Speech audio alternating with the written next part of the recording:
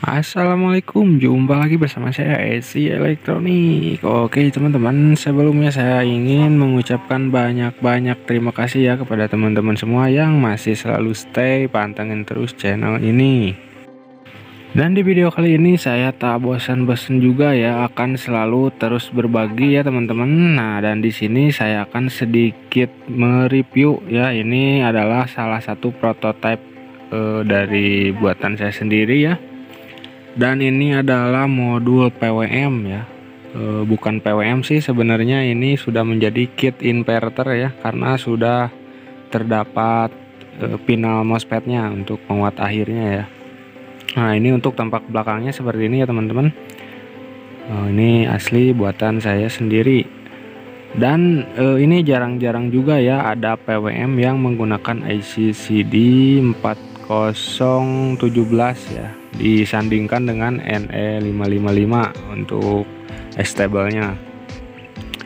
Nah, oke okay, teman-teman, jadi nanti saya akan bagikan file PDF-nya ke teman-teman semua. Barangkali ada teman-teman yang mau atau yang mau desain sendiri atau cetak sendiri di rumah ya, saya akan bagikan.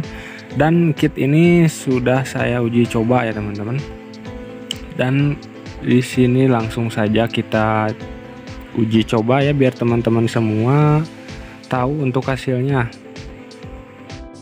Dan di sini saya sudah sediakan juga satu buah trapo ya teman-teman. Ini trapo dari pabrikan kisaran 3 ampere. Namun saya sudah rombak total untuk lilitannya. Saya bikin 9 CT9 dengan kawat ukuran 0,6 mm bagian sekunder dan 0,35 untuk bagian primernya ya teman-teman. Bisa dilihat ini kawatnya gede-gede ya karena ini difokuskan sebagai trapo inverter atau trapo step up ya. Oke langsung saja kita pasang teman-teman. Dan nanti di akhir video saya akan sertakan file-filenya ya.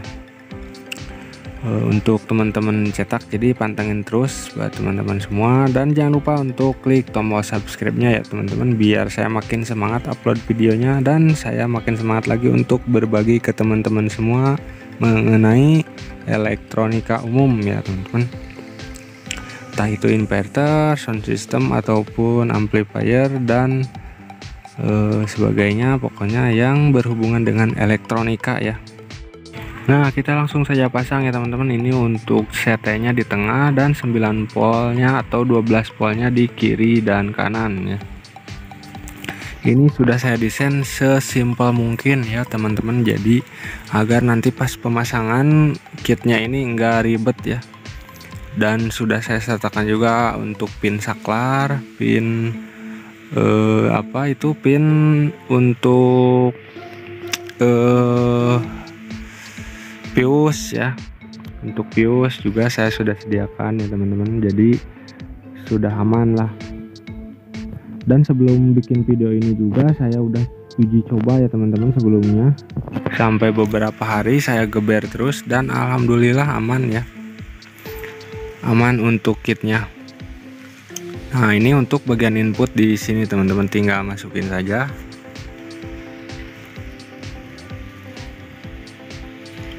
Salah satu kunci untuk membuat kit inverter itu jadi awet yaitu di bagian MOSFET-nya ya teman-teman. Teman-teman harus cari MOSFET yang benar-benar original ya kalau misalkan mau pakai RFZ 44N ya harus cari yang benar-benar bisa dipercaya lah teman-teman. Kalau bisa cabutan gitu dari e, modul apa gitu. Nah ini saya sediakan juga baterai 12 volt 10 ampere ya untuk pengujiannya.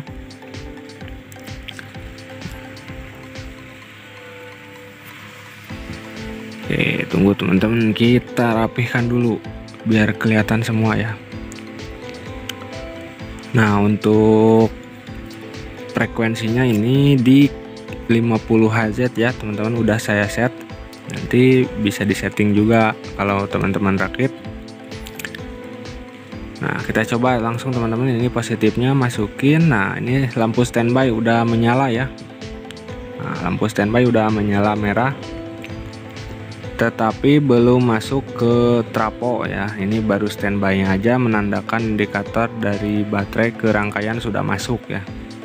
Oke sebelumnya kita sediakan dulu multitester dan kita cek untuk frekuensi voltase dan duty cycle-nya ya. Karena duty cycle di dalam satu buah inverter itu sangat penting ya teman-teman. Diusahakan harus sebisa mungkin mendekati 50% ya agar hasilnya maksimal untuk MOSFET-nya juga tidak panas ya teman-teman.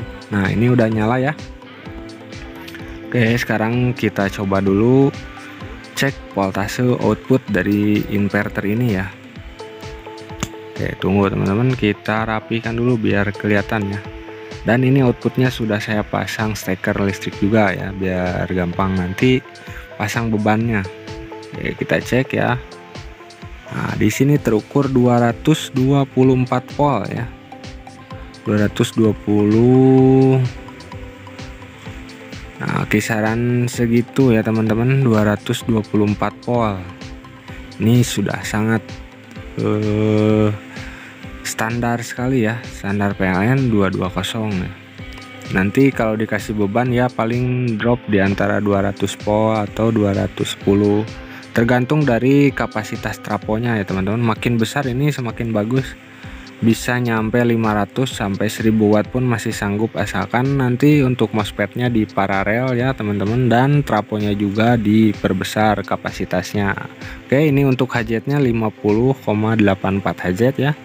Dan sekarang kita cek untuk duty cycle-nya. Nah ini sudah di menu persen ya. Ini artinya duty cycle nah, ini yang paling penting di dalam satu buah inverter ya teman-teman. Nih, sudah di 50 hz ya 49,9 nah, mantap sekali ya teman-teman. 50 ya duty cycle-nya. Ini sudah menurut saya ya ini sudah sempurna teman-teman. Mantap ya. Sekarang kita lanjut ke tes beban saja teman-teman nih dan ini tuh uh, trimpot ya trimpot untuk mengatur frekuensinya nanti di situ. Teman tinggal puter-puter aja. Kalau pas baru dirakit pasti harus disetting dulu trimpotnya ya. Pokoknya nanti lengkap lah di di skemanya juga. Saya di saya kasih ya skema plus PCB layoutnya. Dan ini bebannya ya teman-teman saya coba untuk menyalakan satu buah lampu Philips 100 watt ya lampu bohlam Philips ini beban yang menurut saya berat ya teman-teman. Beban bohlam seperti ini. Ya cukup lumayan berat lah kalau inverter cuman bikinnya asal-asalan pasti nggak akan mampu ngangkat dia gitu. Apalagi kalau duty cycle-nya itu nggak benar-benar di 50% ya. Oke sekarang kita coba tapi sebelum dicoba kita tes tes beban tes beban ketika standby ya arusnya berapa ini?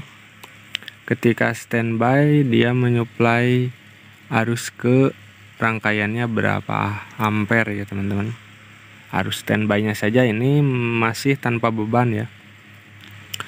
Sebisa mungkin harus seminimal mungkin ya teman-teman ini untuk arus standby nya nah kita lihat ya nah di sini terbaca 0,301 ya berarti kisaran 300 mA ini menurut saya sudah sangat irit ya karena traponya di setting di 9 CT 9 ya. Kalau di 12 volt CT 12 volt pasti lebih kecil lagi ya harus standby nya Oke langsung saja kita coba teman-teman. Langsung tes beban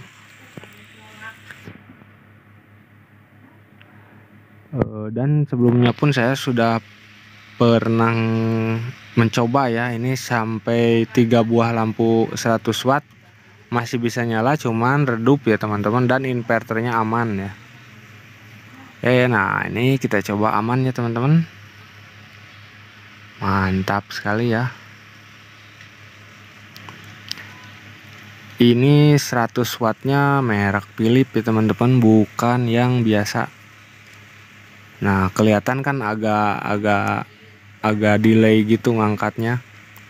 Itu tandanya beban ini berat teman-teman. Dan ini paling kisaran maksimal dari trapo yang saya punya kisaran 80 sampai eh, 85 wattan lah. Nggak nyampe 100 cuman ini sudah sanggup ya teman-teman nih.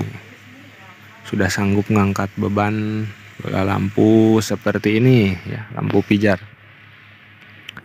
Nah mantap ya teman-teman.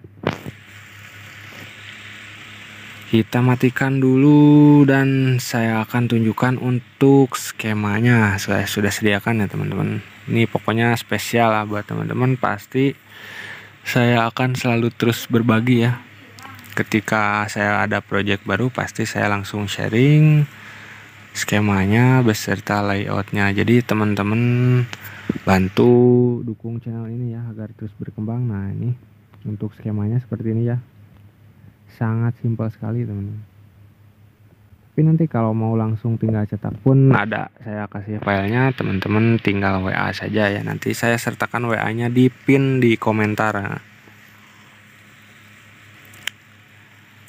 pokoknya teman-teman bantu subscribe bantu share dan like sebanyak-banyaknya ya teman-teman biar saya makin semangat lagi. Dan ini untuk fuse nya di sini ya teman-teman. Saya pakai 10 ampere saja karena kapasitas traponya di bawah 100 watt ya. Ini kan baterai 12 volt dikali 10 ampere eh, 120 watt ya. Jadi cukup memakai 10 ampere juga ya. Nanti kalau teman-teman dayanya daya traponya besar dan daya inverternya besar juga bisa menggunakan fuse yang lebih gede lagi ya teman-teman sesuaikan saja Oke teman-teman mungkin di kesempatan video kali ini saya cukupkan dulu ya sampai di sini. Semoga videonya bisa bermanfaat buat teman-teman semua apalagi yang pemula seperti saya ini ya teman-teman. Sekali lagi saya ucapkan terima kasih banyak dan sampai jumpa di lain kesempatan video ya teman-teman. Assalamualaikum warahmatullahi wabarakatuh.